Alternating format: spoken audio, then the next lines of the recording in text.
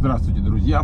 У нас постоянно зрители спрашивают, что там с недвижимостью, с ценами, как рецессия на это повлияла, как там выборы повлияли. Ну, вообще, как вот, как, что с недвижимостью? Некоторые все, знаете, ждут, что упадет, тут они налетят таким коршуном и купят.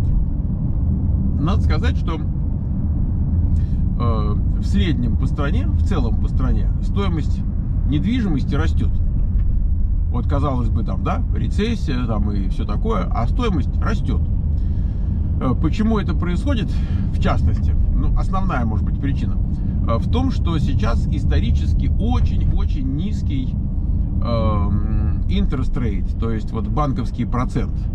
Э, чем, чем меньше процент, тем меньше платежи, которые месячные надо платить. Соответственно, тем больше людей в состоянии там что-то купить.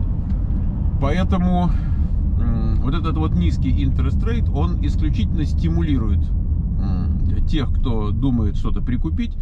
Он позволяет прикупить что-то людям, которые так не могли бы прикупить, там, если было повыше или, или там существенно повыше. И, соответственно, растет. Значит, есть места, в которых падает. И вы, на самом деле, без особого, так сказать, напряжения можете сообразить, где это происходит. Это вот те самые большие города, в которых очень-очень высокие цены, и откуда люди во время а, пандемии начали сваливать э, в тех или иных масштабах. Это Сан-Франциско, это Нью-Йорк, это, насколько я знаю, Вашингтон, Ди-Си, да, вот это вот а, округ Колумбия. Вот, народ отъезжает куда-то в пригороды, и, соответственно, в пригородах там по 50 там офферов дают на какой-нибудь домик, там как бы спрос большой. Э, говорят, что из Нью-Йорка вообще там чуть ли не полмиллиона народу съехало. В Сан-Франциско я читал, что 6% э, жилой недвижимости стоит вакантная, да, значит, э, никто там не живет, соответственно, это подрезает цены, люди хотят сдать, все-таки это деньги. Вот, и цены на аренду э, снижаются. Ну, вот у нас тут в Кремниевой долине, поскольку мы как-то непосредственно вовлечены, я могу сказать, что э, тоже, наверное, немножко, немножко идет вниз, не сильно, но немножко идет вниз. И, э, понимаете, если раньше, например, люди приезжали там в Google, Facebook на работу, да, в Apple, тут полно народу было, то сейчас они, соответственно, уже и не приезжают, а работают удаленно. Эм, приезжали люди, скажем, в Стэнфордский университет, вот у нас тут за спиной там остался, э, тоже студенты, аспиранты, там всякие э, ученые по обмену и так далее, тоже проблема. Ну, в общем, как бы рынок такой подсевший. Так вот, эм, тут новое как бы обстоятельство в этом во всем состоит в том, что все-таки у нас вакцины на подходе. И как бы так вот пишут, что к апрелю месяцу, к апрелю месяцу, всех, кто там есть, живой, там, ходячий, бродячий, всех вакцинировать, если они не будут сильно сопротивляться. Хотя некоторые, мы знаем, будут сопротивляться. Я, честно, вот, например, не хочу сказать, что я хочу вакцинироваться. Мы со Светланой это обсуждаем, мы говорим, мы подождем, мы лучше так потише посидим, посмотрим, как пойдет там мало ли что бывает. Ну, в общем, как-то нет, нет доверия к тому, что такая быстро склепанная вакцина, которая не протестирована толком там на сотнях тысяч, там, миллионах людей, как-то вот, знаете, хочется пожить еще тоже. Вот, и, ну, тем не менее, тем не менее, значит, речь идет о том, что где-нибудь начиная там с апреля месяца, а уж там до, допустим, следующего сентября, да, так, так уж точно, компании, но если не полностью вернутся люди в офисы, как они были, то есть, безусловно, кому-то дадут возможность там поработать э, удаленно, э, то есть будет гораздо больше процент людей, работающих удаленно, чем был до пандемии. Эм, наверное, будет распространяться вшире вот это движение, которого у нас тут было сколько хочешь в Кремниевой долине, когда люди там, скажем, два дня в неделю, три дня в неделю работали из офиса, а, а остальные дни из э, дома. Это позволяло им отъехать куда-нибудь часа на два отсюда, где намного дешевле недвижимость, где там, может быть, какие-то, знаете, там а, речушки, там у них лодочка, там еще что-нибудь, какие-то каналы там и так далее. Есть такая недвижимость. Мы снимали, у нас на канале есть. Если кто-то интересуется, то может посмотреть. Вот в частности есть такой город Брентвуд, есть Diamond Bay.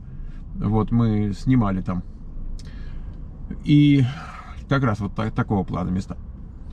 Значит, э, к, к чему я это рассказываю, что то есть, с одной стороны, мы видим, что люди из таких вот интенсивных мест, как Нью-Йорк, Сан-Франциско, Кремниевая долина, потихонечку отваливают а, в условиях пандемии. И цены снижаются. С другой стороны, мы видим, что еще немножко там, ну вот, я не знаю, ну год, допустим, год. И более-менее э, все вернется на круги своя. Может быть, с какими-то потерями, да, там, не знаю, может быть, 20% потерь будет, а 80% вернутся. И мы смотрим, тут строительство у нас идет со всех сторон. Ну, там, где земля есть свободная, там строят.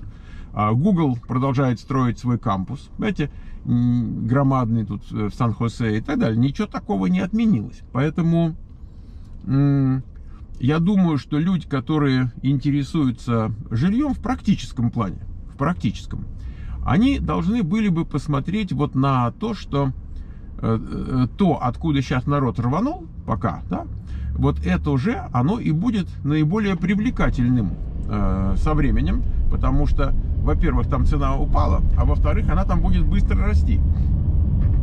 По мере того, как пойдет вакцина, по мере того, как народ немножко успокоится, по мере того, как народ, э, компании начнут возвращать сотрудников в офисы, университеты начнут возвращать студентов на кампусы и так далее, и так далее. И это все очень не за горами, очень. Вот. И пока еще низкий интерес, друзья, интерес будет низким, э, надо полагать, достаточно долго. Вот. Хотя тут сейчас что происходит, а, это не решает Байден там или кто-то из его администрации, это решает Federal Reserve Bank, и сейчас вот его упаковывают а, срочно там сторонниками Трампа, которые могут просто как бы из своих соображений а, понятных нам, а, значит, сделать так, что интерес рейт не будет хорошим, и будет экономика, наоборот, будет ее поддавливать, это тоже возможно в подготовке к следующим выборам. Ну, в общем, это так как бы а, разные есть соображения. Во всяком случае, мы видим, как сейчас срочно пытаются упаковать Federal Reserve Bank вот, вот как бы новыми людьми, и, и какими именно, это все хорошо видно. Ну, тем не менее, то есть понятно, что есть миллион разных факторов, но как бы общие, общие тренды, когда люди уезжают, люди приезжают, они э, уходят из офисов, они возвращаются в офисы. Ну и, конечно, вот этот interest rate, который мы надеемся еще довольно долго будет вот таким, все-таки все, -таки, высокая безработица, там 8% и, в общем, ну, эм, его держали на, на нуле практически, даже когда безработица была вот э, там 3,5%, то есть исторически минимальная, да, и все равно interest rate держал вот этот Fed, Federal Reserve Bank держал interest rate просто нулевым, как в самую жуткую рецессию. Вот, раз уже рецессия, ну посмотрим. Вот такое, такое небольшое сообщение а, для тех, кто интересуется недвижимостью. Я, в общем-то, посматриваю, послеживаю, и э, все время пишут на эту тему. Но вот сейчас вот, поскольку вакцина, глядишь, скоро появится, да, то вот это какой-то такой дополнительный фактор, и я хотел на эту тему поговорить. Счастливо, друзья!